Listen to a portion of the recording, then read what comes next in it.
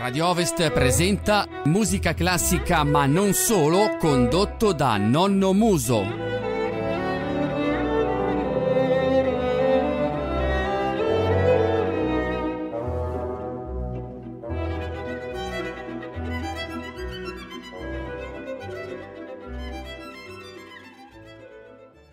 Amore, hai preso gusto per la lirica? Da quello che ho sentito era ancora la Callas. Hai ragione, mi sto interessando alla lirica, ma la prendo a piccole dosi con magnifici interpreti. Per esempio, il disco numero 5 dell'incomparabile Callas della collezione studio della voce del padrone, Orchestra Filarmonia, diretta da Tullio Serafin, incisione datata 1984. Mm, ma i dischi sono due, penso che non li darai tutti e due. Esattamente, ora il primo dedicato a Puccini, la prossima volta l'altro. Presentiamo il primo brano, In quelle trine morbidi, della Manon Lescaut. Manon Lescaut è un romanzo dell'autore francese Antoine-François Prévost, conosciuto anche come Abbé Prévost. La prima rappresentazione ebbe luogo la sera del 1 febbraio 1893 al Teatro Regio di Torino, con Cesira Ferrani e Giuseppe Cremonini Bianchi, in questa occasione l'opera ottenne un successo clamoroso alla presenza del compositore.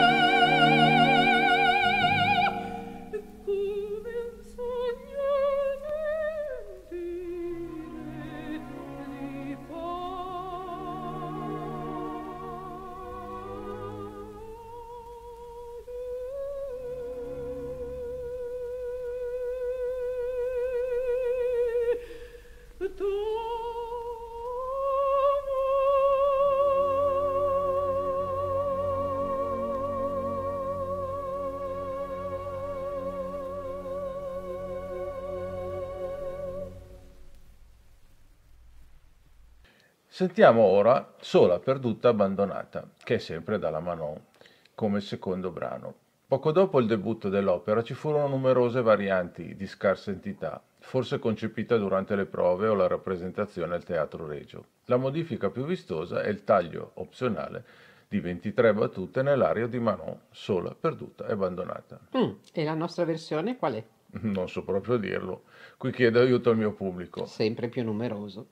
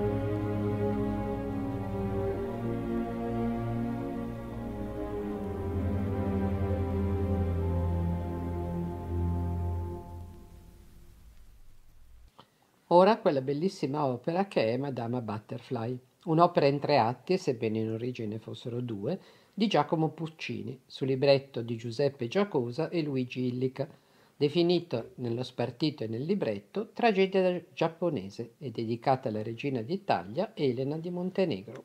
Puccini scelse soggetto della sua sesta opera dopo aver assistito al, du- al Duke of York Theatre di Londra nel giugno del 1900 la tragedia in un atto Madama Butterfly di David Velasco, a sua volta tratta dal racconto dell'americano John Lutter Long, titolo Madama Butterfly, apparsa nel 1898. Ascoltiamo Un bel dì vedremo.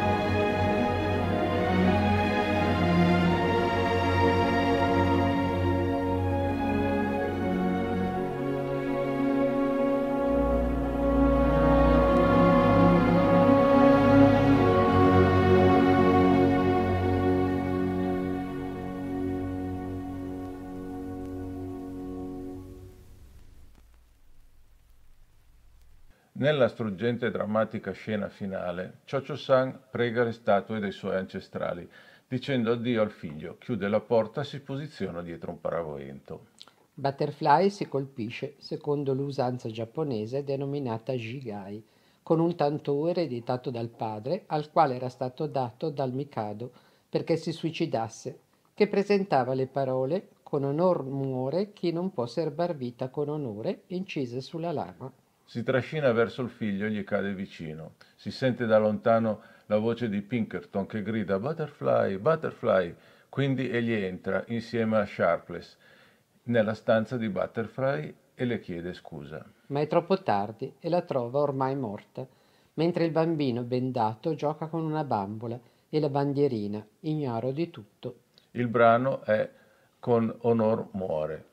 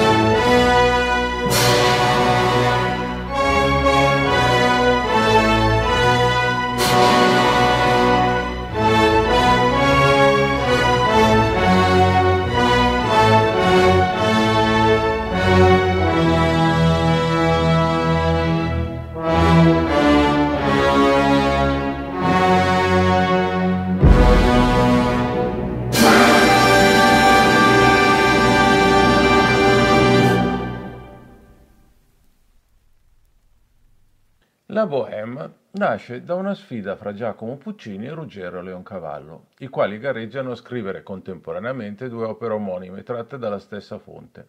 Dopo oltre un secolo, l'opera di Puccini è ancora fra le più popolari al mondo, mentre quella di Leoncavallo non ha mai avuto molto successo. Sì, mi chiamano Mimì, che proponiamo ora, dice la protagonista Rodolfo, che le ha appena cantato Che gelida manina.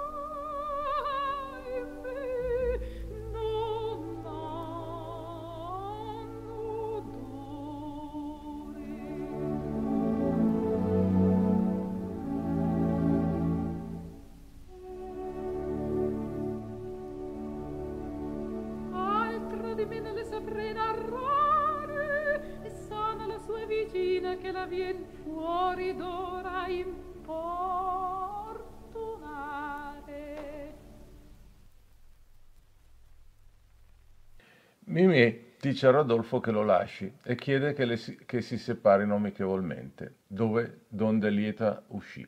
Ma il loro amore reciproco è troppo forte perché i due possano separarsi. Come compromesso decidono di restare insieme fino a primavera, quando il mondo riprenderà vita e nessuno si sentirà veramente solo. Anche la Bohème è un'opera dove la protagonista muore di tisi. Una piaga per quell'epoca, ma sentiamo l'interpretazione della Divina.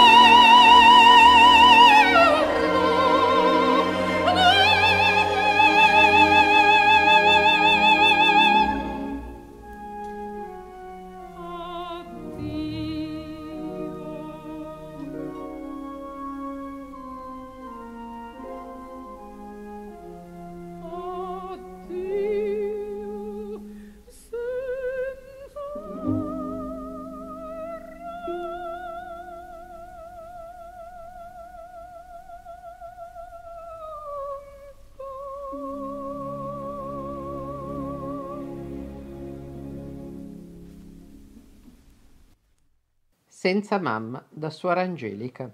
Suor Angelica è un'opera lirica in un atto sul libretto di Giovacchino Forzano. Fa parte del trittico. La prima assoluta ebbe luogo il 14 dicembre 1918 al Metropolitan di New York con Geraldine Farrar, Flora Perini e Minnie Egener. È tra le poche opere a contenere solo personaggi femminili. Le voci maschili compaiono solo alla fine, nel coro di angeli che portano Suor Angelica in cielo.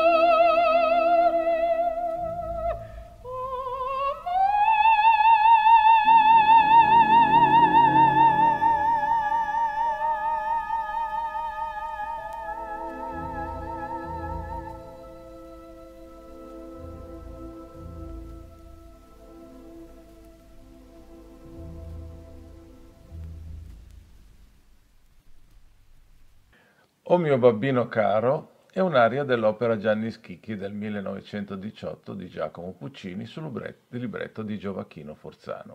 La canta il personaggio di Lauretta, rivolgendosi al padre Gianni Schicchi quando lo scontro tra quest'ultimo e la famiglia Donati giunge a un punto tale da mettere a rischio la sua storia d'amore con Renuccio Donati.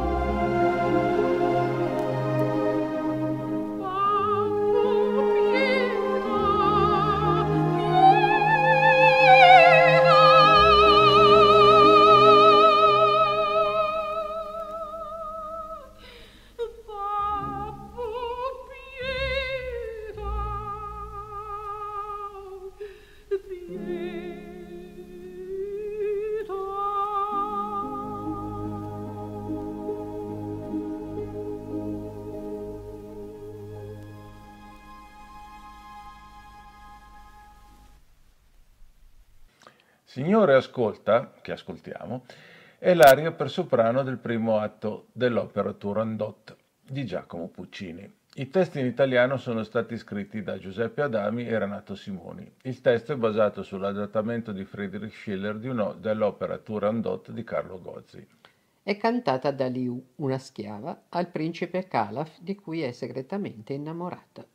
Liu canta quest'aria implorando Calaf di non rischiare la vita per il suo amore con la bella ma fredda principessa Durandot, la quale pone come condizione che chiunque desideri sposarla debba prima rispondere ai suoi tre enigmi e se fallisce verrà decapitato. Le parole di Liu toccano il cuore del principe che risponde con Non piangere Liu.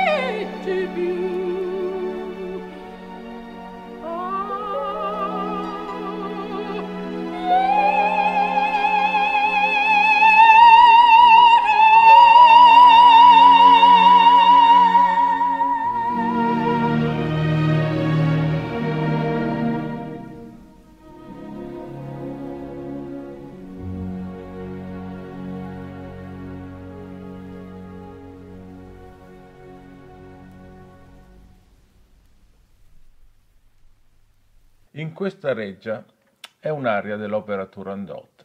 L'aria si svolge nella seconda scena del secondo atto ed è cantata prevalentemente dalla principessa Turandot, il soprano, ma con la risposta di Calaf, il tenore, che è un punto chiave dell'opera.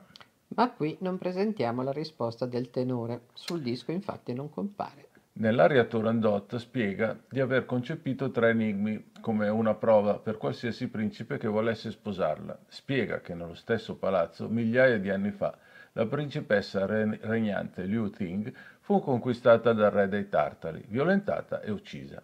Basandosi sul ricordo e sul concetto di quel grido tramandato di generazione in generazione fino alla stessa del Turandot, decide di vendicare quella morte imponendola a tutti gli uomini che falliscono nel tentativo di sposarlo. Avverte il principe che se non riuscirà a rispondere a uno dei qualsiasi tre enigmi morirà. Il culmine dell'aria avviene con la parola grido ed è chiaro che Turandot sta rivivendo e personificando gli ultimi momenti del suo antenato, il suo sdegno e la sua tanta attesa vendetta.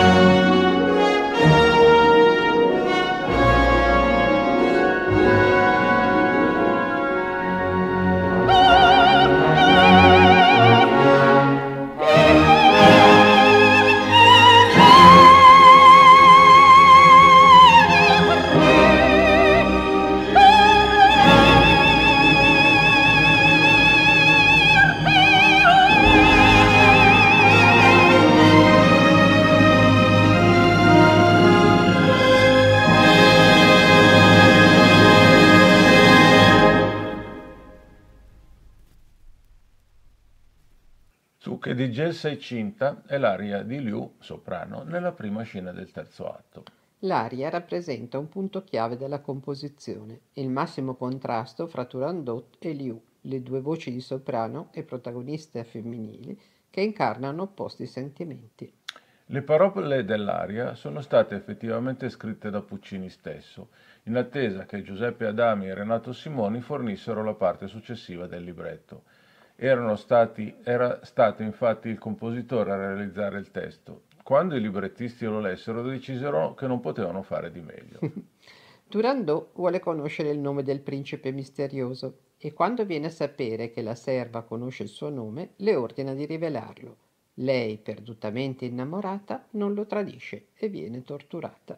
La principessa è chiaramente presa dalla volontà di Liu che chiede cosa le abbia messo tanta forza nel suo cuore. Liu risponde, principessa, amore.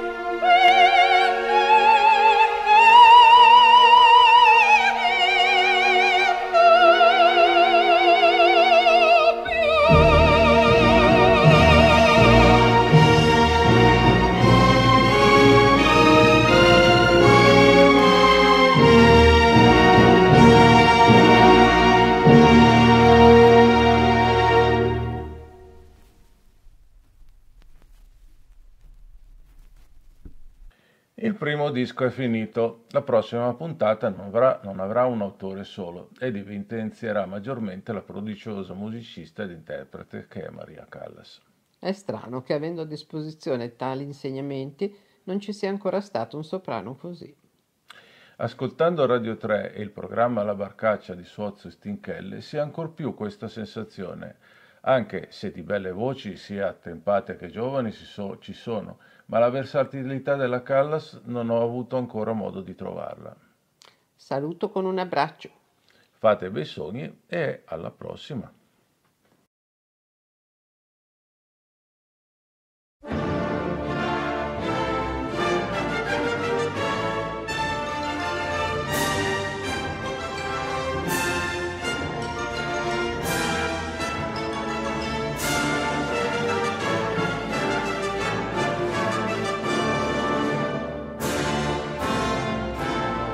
Musica classica ma non solo.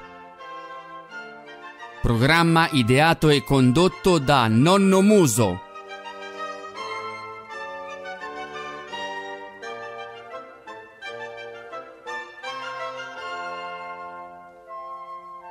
Per contattare direttamente Nonno Muso potete utilizzare l'indirizzo mail nonnomuso@radioovest.it.